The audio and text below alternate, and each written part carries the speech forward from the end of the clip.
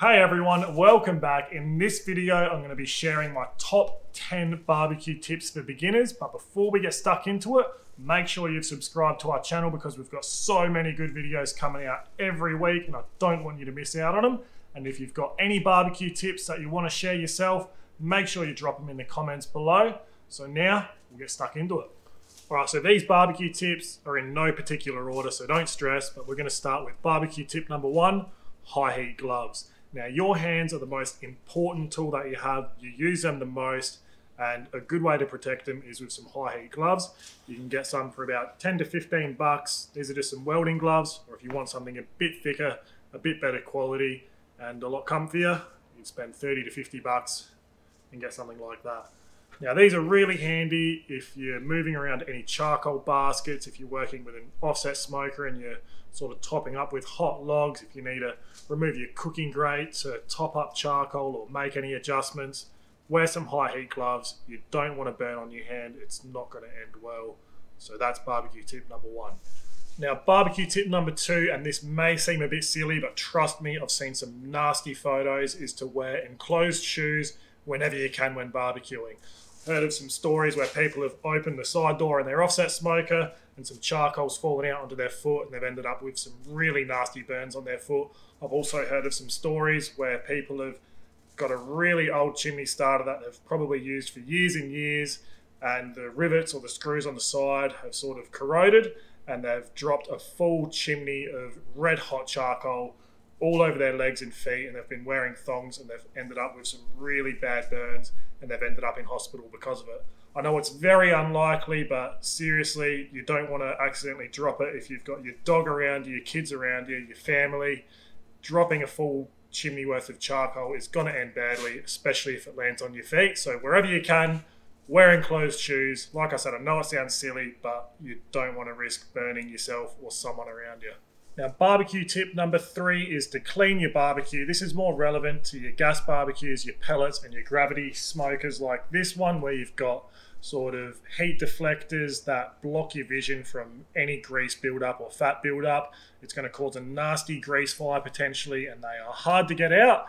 And when you get it out, you're going to create a massive mess and you're probably going to ruin whatever you're cooking. So always just inspect your barbecue. If you've got a nasty grease buildup, it only takes one bit of charcoal or hot fat to drip in the wrong place to start a nasty grease fire. Like I said, they're hard to get out and something you don't want to experience.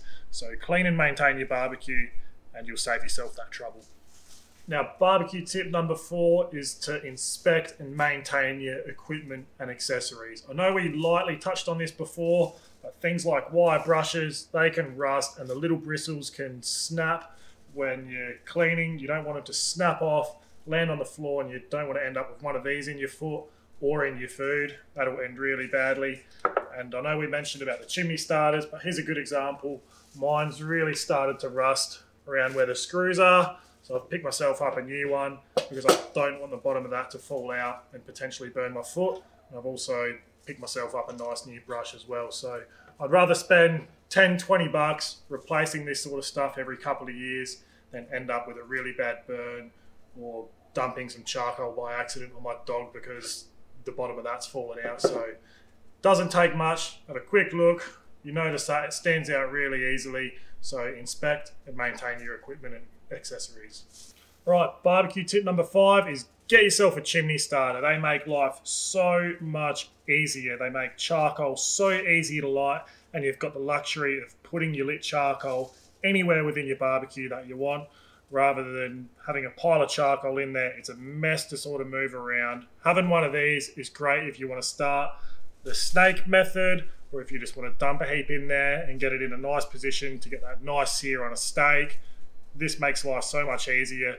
You can put your fire lighters underneath, fill your charcoal up, light them up, and within 10 20 minutes, you've got a nice couple of kilos of nice ashed over red hot briquettes ready to go. So I'd highly recommend one of them. Now, barbecue tip number six is to try and get yourself a meat thermometer. They're cheap, they're easily accessible. You can get them from supermarkets, hardware stores, and there's heaps online. You can get them for as cheap as 10 bucks, and they just really help to take the guesswork out of your cooking. If you're trying to aim for that perfect medium steak, take the guesswork out and check it with a meat thermometer. you can get more consistent results. So, like I said, try and get one of these if you can afford it. It's going to really help improve your barbecue game and achieve more consistent results. Now, barbecue tip number seven is to cook to internal temperature and feel, not time. Only use time as a rough guide. I've seen too many people post on Facebook and Instagram and social media saying, I read this recipe or I got told this brisket or pulled pork will take eight hours. So I pulled it off after eight hours and it was crap or not what they were expecting. Go to internal temperature and feel. There's so much information on Google about different primals or different cuts, what internal temperature you should be taking them to. For example, brisket, a lot of people like to take that off around the 205 Fahrenheit or 96 degrees Celsius mark. It might not be around that range. It might be more towards 215 or it might be more towards 200. That's why you should always go by feel as well. Get to know what that probe tenderness everyone talks about feels like. Pick it up. It should feel a certain way. Really get to know what the right feel is when you're cooking your pulled pork, your briskets, your ribs. They should all feel a certain way it's only going to come with experience. So cook to internal temperature and feel. Use time as a very rough guide only. Now, barbecue tip number eight is to try and use good quality fuel, smoking wood, and meat if you can afford it. It always pays to spend the extra couple of bucks and get some quality stuff. So, you fuel, there's some really nasty stuff out there that's just full of chemicals. It's going to give you a really bad experience. So, do some research, find out what is a good brand with a good reputation, do some research, try and find something local so you can talk to that business a bit about it. They'll be able to give you some tips and tricks and some good knowledge on how to use it. Same with your smoking wood. A lot of this imported stuff is kiln dried, it burns really quick, and some of it has a really nasty taste. Again, get something local with a good reputation. Facebook and Instagram are all really good forums to get onto and ask some questions because you can get onto some local groups to you and get some really good information. And then the meat, build a relationship with your butcher, whether you've got a good supermarket butcher, not that there's many of them left these days, or a good standalone butcher. Talk to them, tell them what you're trying to achieve. They'll be able to point you in the right direction of what sort of meat to use. They'll probably have some really good information on how to cook it or smoke it as well. A lot of them get taught that these days. So build a relationship with your butcher. They'll get you some really good meat at a really good price. It pays to pay the little bit extra, otherwise you end up with some crap lean piece of meat that's just going to potentially turn out dry. So that's a really good tip as well. Spend the extra money, get some quality fuel, smoking wood, and meat. Now, barbecue tip number nine is cook how you like to cook and eat how you like to eat. If you like your steak blue, that's fine. If you want to post that stuff on social media, just be prepared. There's internet trolls out there. Don't be influenced by them. If you want to dig a hole, build a fire, and cook all your meat on that, go for it. If you want to use a pellet smoker, maybe don't do that. That's all right.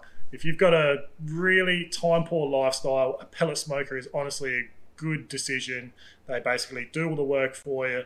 Be proud of it. If you want to cook on a Weber, go for it. Find something that suits you and suits your lifestyle. Stick to it and be proud of it.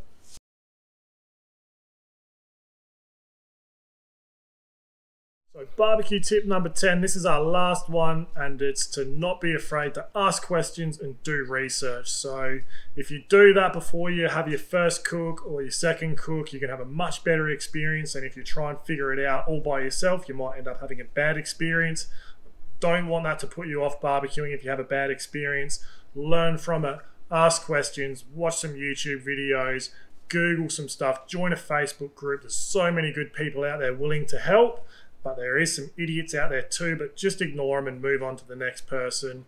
Seriously, you're going to have a much better experience gaining a good understanding of what you're trying to achieve before you do it. That's how I started out. I was able to talk to some really good barbecue people and pestered them with questions. They were so helpful, and I had a much better experience starting out than a few people I know who tried to figure it out for themselves and put a few of them off barbecue for good. So if you start having some really good barbecue, early on when you're trying to start out, you're going to be doing it for a lot longer. You'll probably do it for the rest of your life. So take that barbecue tip on board. It's probably my most important one. So that's the end of our barbecue tips. If you enjoyed the video, subscribe to our channel, give it a thumbs up, give it a heart, share it around. And if you've got a barbecue tip you want to share for yourself, drop it in the comments below so everyone else can see. And we'll see you next time. I need to get away from these flies and grab another beer. So we'll see you later.